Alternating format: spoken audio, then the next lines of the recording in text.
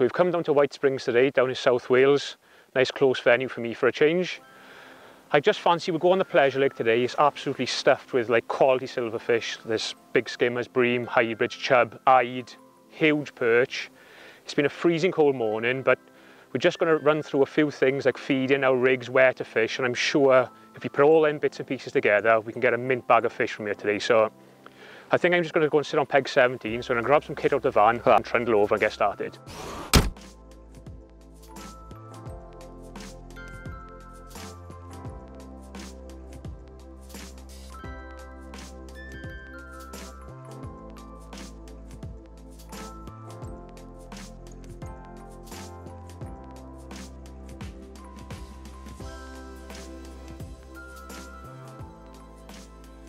Okay, so we've jumped on peg 17. I know from, I fished this peg a couple of times before and it's a little bit deeper in this end of the lake. You're looking at probably about six foot. So it's been a really cold morning and with that little bit of depth of water, I think it'll give us a good chance of catching some fish. So we're gonna go for three lines. We're gonna fish a short line where I'm gonna be able to throw casters out of my hand, keep that line fed all day. That'll probably be for later in the session. We might catch some big perch and some big bream there. And then two long pole lines one way I'm going to feed positive, by that I mean I'm going to feed a, a, lot of quantity of bait, so like three or four cups of ground bait with a few like free offerings in there. That'll be for later in the session, that'll be good for pulling fish in, we can just leave that line settle. And then the other side, I'm literally going to feed like a little golf ball sized ball of ground bait. And that's going to be, we can go straight over that and hopefully get into fish literally from the off. So I'm going to pop a little plummet on now, have a little plumb round, and then we can talk about where we're going to fish and why. Okay, so I'm just going to ship out now. I've got a little plummet on, a little 10 gram plummet because the bottom's quite soft. So like I said, not so long back, I want to plumb up two lines. So I want to leave a, a fair gap between the two. So I'm just going to go at like two o'clock and 10 o'clock. So just going to drop that plummet in there now. And I'm a little bit under depth there. So you're looking at, you're going to be six foot deep there, as I said. So what I want to do now is I want to find the same depth that on this line as the next line so I don't have to keep shipping back and changing my rigs. I can literally just swing back and forth from both lines so I'll just swing around here now. I've got a rough idea of how deep it is there. So again I'm just going to pick a far bank marker that tree on the other bank. Anyway that's a little bit shallower now. That side is probably three inches shallower. So if I come back towards me a bit just try and find that same depth. There you are and that's that'll be about bang on for both the lines. So I'll know now I'm just holding on to the end of my section for that line. Gives me plenty of pull behind me as well if I want to ship past and fish past my feed. And then I can just easily, if I catch a fish there, I can ship out this line and swing over there. I'll just replumb that up. And there's hardly anything in it. So that's perfect to have those two lines almost bang on the same depth. Just gives me that option of swinging back and forth over both my lines. Let's just have a quick run through of all the bait we got and it, it isn't a lot of bait. This sort of fishing is mega simple. So what I've got there all mixed ready is our ground bait. That's going to be for our both long lines. I'm going to put probably three or four cups of this on our positive line, like we talked about, to pull some fish in for late in the session. And then on our negative line, it's literally going to be like a little squeeze ball like that. So that is three parts crushed expander and one part sweet marine. Now, when you mix your ground bait, one thing to remember is you want to mix it early in your session. If you can, give it one mix in the house before you leave. So you just mix in a bucket so it's quite damp. That crushed expander will take a lot of water on over an hour. So put it in the back of your car or your van. When you get to the venue, pull your ground bait out, have a look at it.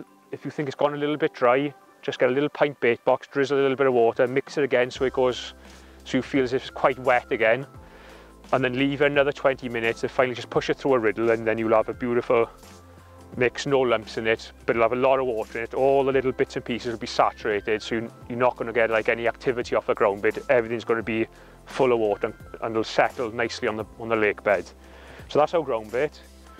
We've got sort of two pints of casters there. They are just to throw on our short line. Hopefully we can catch an odd big perch there on that and then a few, probably a pint of live red maggots. That's going to be for the hook mainly and loose feeding a few with a catapult over the top of our long pole lines. And then finally we've got a few dead fluoro pinkies and a few dead red maggots.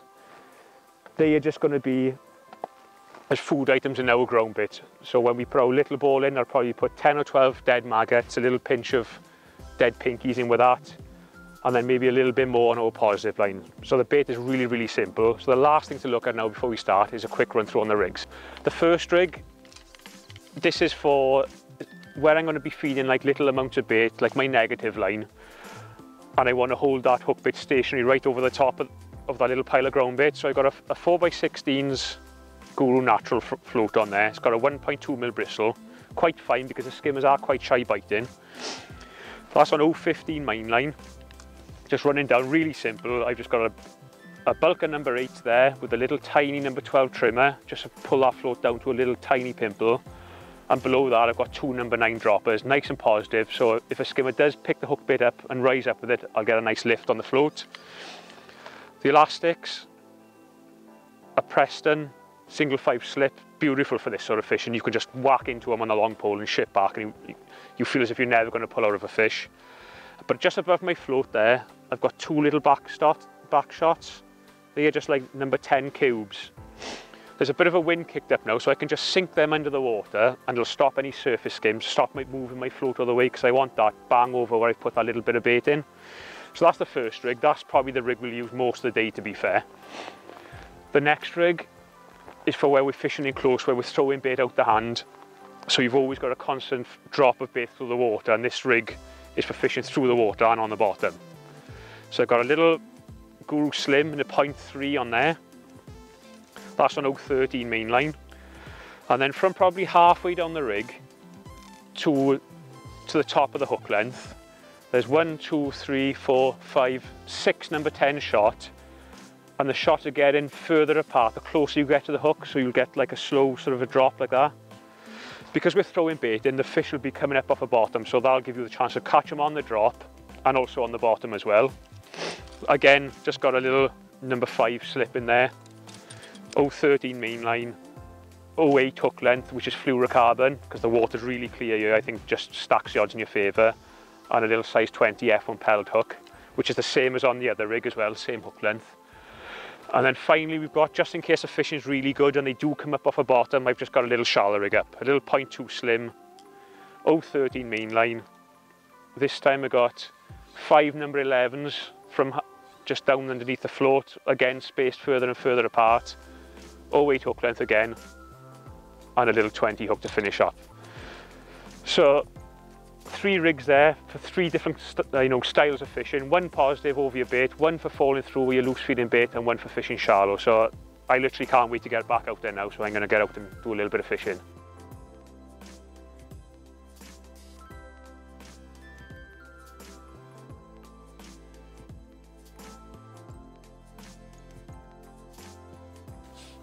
We've been in fishing probably 10 minutes just over that little negative line like what we spoke about. Just over that little amount of ground bait. And we haven't had to wait too long for a quality silverfish, which is a nice start, especially on a freezing cold day like this. So if you go there, I don't even know what that is. A little skimmer, look. So that's a nice fish to kick off with. Probably, oh, 12 ounce or so. Nice little skimmer. So that was quite a quick fish. So I'm going to keep plodding away now, see if I can catch a few more fish and work out the best way to catch a number of fish to make the most out of our session.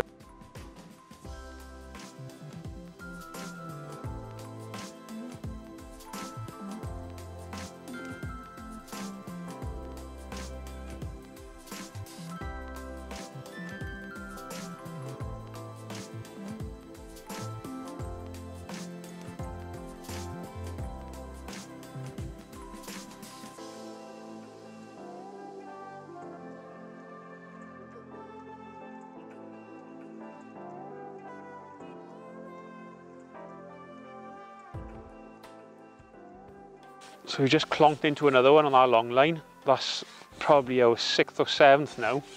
And already, we haven't been fishing probably an hour, and already I've worked out a couple of things that's just up, help us up our catch rate.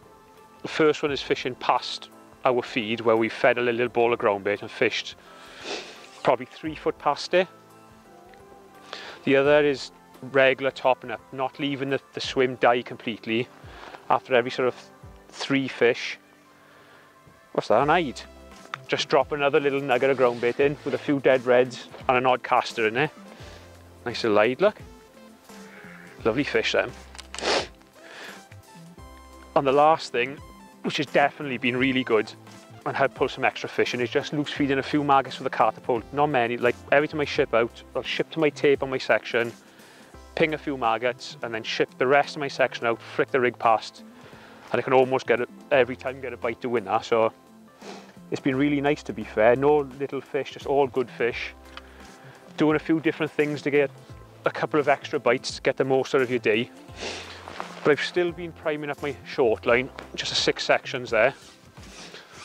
I think I'm going to keep going on this for about an hour. Just as our light starts to go, I think we've got a right good chance of a couple of big bream or even a nice big perch on that short line. So I'm just going to carry on, see if we can winkle a few more bites, and then we'll look to have a little drop short. There we are, we've clonked into another quality fish on the short line. That's come quite good now towards the end of the session. So I think I'll try and get this in and then we'll wrap it up because the light has started going now and it's gone a bit chilly like so let's just see if we can put this in there. I'm not even sure what it is. If it's a it's not a big is it a big roach? Can't see it. It is, yeah, look at that. That's a nice fish to finish on. How about that for a roach look to finish on, on the short line? Just where we've been flicking them few casters through the day. Now I'm sure there's a commercial fishery similar to this around, you know, they're all around the country, so they're pretty much guaranteed there'll be one near you somewhere. Okay, just to summarise, the, po the positive line hasn't gone off today, but on another day it can be your best line. So always put it in, you can save your bacon at the end of a session. Our negative line's been brilliant, just fed that one ball, caught a load of skimmers through the day. What's been really good nice, pinging a few maggots on it, and then fishing sort of half a metre past your feed. It's been really good. And then where we've just primed up short all day, flicking a few casters, we've had a beautiful little run there now, some good quality roach and stuff. I'm sure there's a venue similar to this around eh, where you live. A lot of these commercials now are full of big quality silverfish. So give these few things we've done today a try. I'm sure you can have a mint day's fishing.